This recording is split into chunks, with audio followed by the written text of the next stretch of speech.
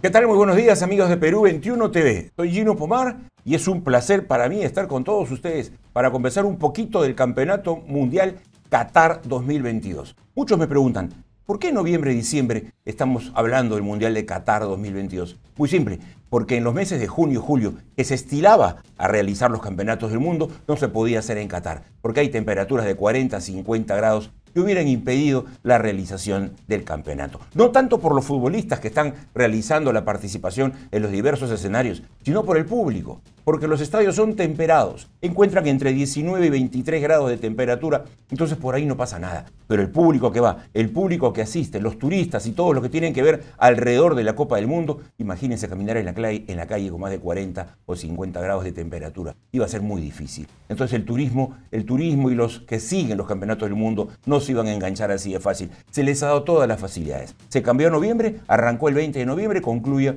una semanita antes de Navidad, el 18 de diciembre. Y ya se están jugando la fase de grupos, ya hay partidos que se han desarrollado, hay equipos que están jugando, hay equipos que están cumpliendo y otros no tanto. Ahora, bien, vamos a explicarles que la Copa del Mundo se inicia en 1930.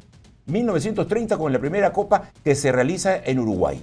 Copa que gana precisamente el elenco uruguayo. De ahí vino jugándose el 30, 34, 38, 42 y pasaron al año 46 y todo lo demás, y después en el año se para la Copa del Mundo, porque hay, hay, una, una, Segunda Guerra Mundial. Hay una Segunda Guerra Mundial que impide, por ejemplo, que se, que se juegue la Copa del Mundo, y entonces entra, entra en un bache entra en un bache y de ahí en más no se realizan las copas. Se regresa, se para en el 38 y se regresa precisamente en el año de 1950 con el campeonato del mundo que se lleva a cabo en Brasil. Los dos, primeros, los dos primeros campeonatos del mundo, 1930 y 1950, mejor dicho, los dos títulos primeros conseguidos por Uruguay fueron en 1930 y 1950, equipo sudamericano. Luego se regresa en el año, como les hemos dicho, entre el, el, año 50 con la Copa del Mundo, con la Copa del Mundo que gana Uruguay, que se realiza en Brasil y que se llama el Maracanazo, ¿no? Porque le gana la final precisamente al cuadro favorito, a Brasil en 1950. De ahí en más, los dos últimos campeonatos, 2014 y 2018, han sido realizados en Brasil y en Rusia. Pero no ha sido el anfitrión el que ha alzado con estos campeonatos, ha sido Alemania y el último en 2018 en Rusia se lo adjudicó Francia. 22 campeonatos del mundo con este que llegamos a jugarse en Qatar y todavía los equipos están disputando la fase de grupos. ¿Quiénes son los que vienen haciendo mejor las cosas?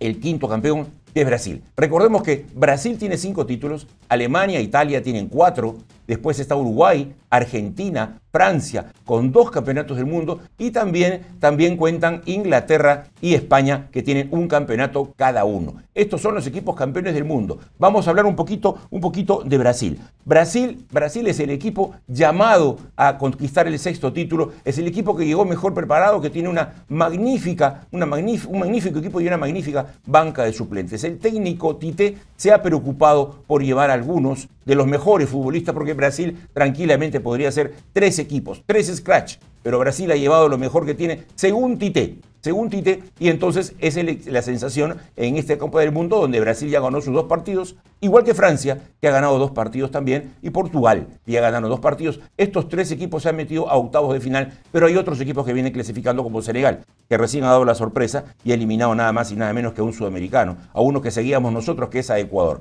Brasil es un equipo que tiene a Neymar, lesionado en estos últimos dos cotejos, no lo ha usado, pero a falta de Neymar, tienen a Richarlison que convirtió un tremendo gol, un gol de tijera, media tijera, media chalaca, para convertir un sensacional gol en el cuadro brasileño y ha venido ganando Brasil. Neymar se lesionó, pero apareció Richarlison. Si no está Richarlison, está Vinicius Junior. Si no está Vinicius Junior, por ahí también aparece Rodrigo. Entonces, por eso decimos, Brasil tiene un equipo titular, pero también Brasil tiene un plantel que respaldan a los titulares. Tiene un plantel completo. Es el llamado a llevarse este título. Pero ¿por qué nos vamos a olvidar de Francia? Francia con Mbappé, con Griezmann, también es un equipo que está haciendo bien las cosas. Sabe defender, sabe atacar. Destaca la figura nítidamente de Mbappé, pero atrás hay un 11 que lo respalda, ¿no? Hay 10 jugadores que respaldan a Mbappé. Y entonces por ahí se hace poderoso porque tiene individualidades y porque tiene juego de conjunto.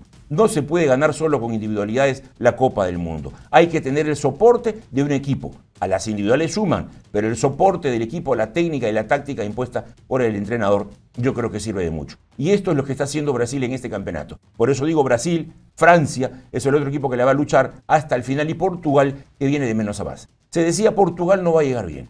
Portugal ha llegado bien, Portugal ya le ganó a Uruguay, Portugal viene haciendo bien las cosas y también tiene un destacado como es Cristiano Ronaldo, el mejor jugador para muchos del mundo y viene sumando al equipo de Portugal, que también tiene otros hombres que suman en Portugal, ¿no? Tiene hombres muy experimentados, eh, Fernández que acaba de meter dos golazos, por ejemplo, y es otra selección que viene de menos a más. En una Copa del Mundo siempre hay que ir de menos a más. Cuando se empieza muy bien, es por ahí que se puede apagar. Nos llama poderosamente la atención lo de Ecuador, que lo comentamos hace poquito. Senegal lo sacó.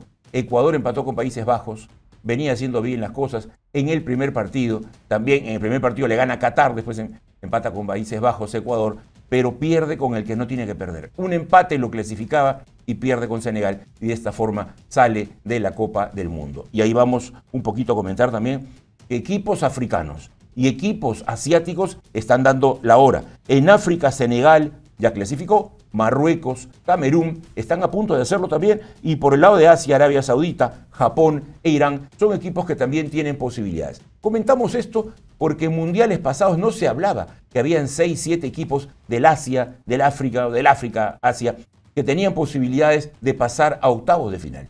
Yo creo que van a colarse tranquilamente cuatro, por lo menos, de estos países. Entonces, el Mundial como que se ha equiparado en cuanto a selecciones. Y esto, al día hace bien el Mundial, suma para el Mundial, y nosotros como sudamericanos esperábamos que Ecuador clasifique.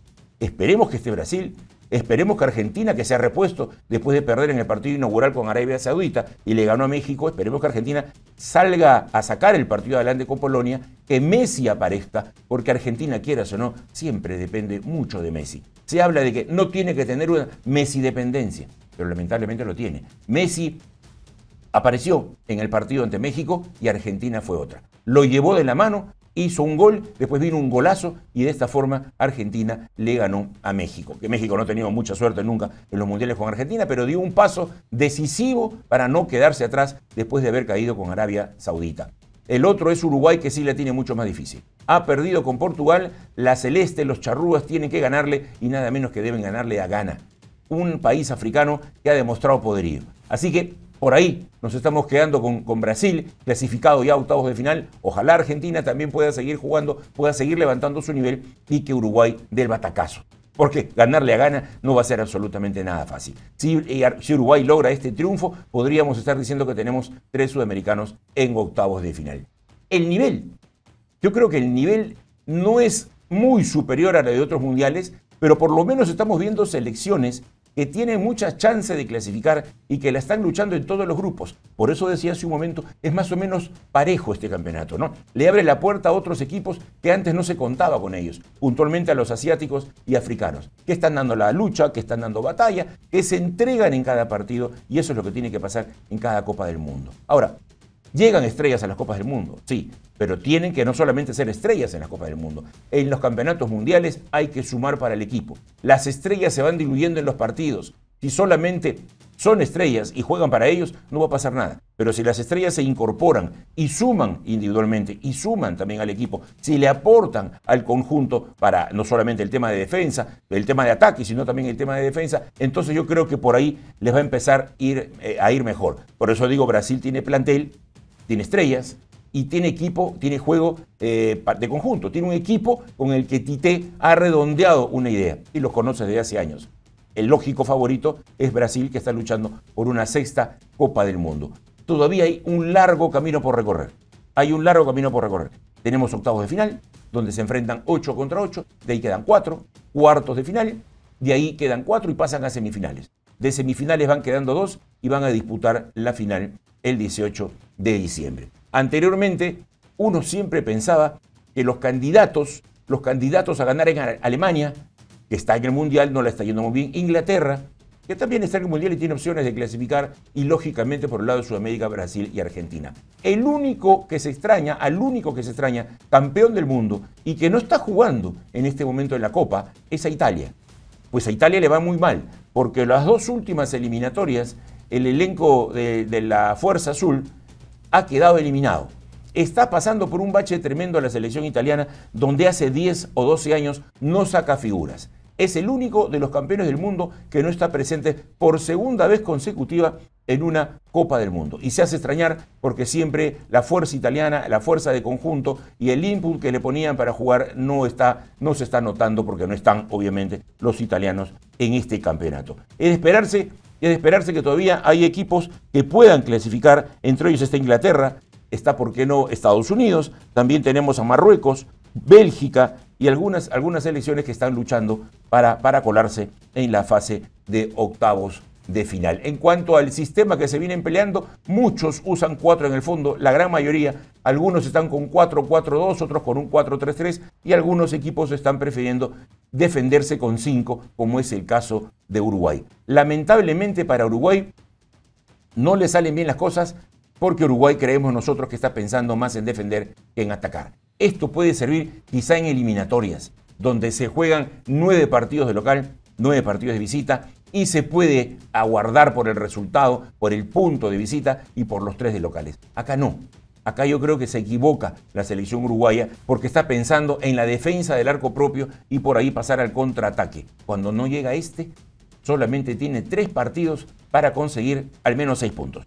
Cuando tiene solamente tres partidos para conseguir los, puntos necesarios y con seis estaría metiéndose. Pero Uruguay, ha privilegiado la defensa el ataque. No aparece Cavani, no aparece Suárez, y si no aparecen estas individualidades, el conjunto se marea y no sabe para dónde apuntar. Entonces, Uruguay va a tener que mejorar muchísimo, muchísimo para meterse, para meterse en la siguiente, en la siguiente fase. Brasil ya está, repito, de Argentina. Si sigue de menos a más, le va a hacer una dura pelea a Polonia, que también es un hueso duro de roer, pero Argentina, si viene de menos a más, insisto, yo creo que le va a ganar a la selección de Polonia y con esto estaría alcanzando, alcanzando su clasificación la selección de Argentina.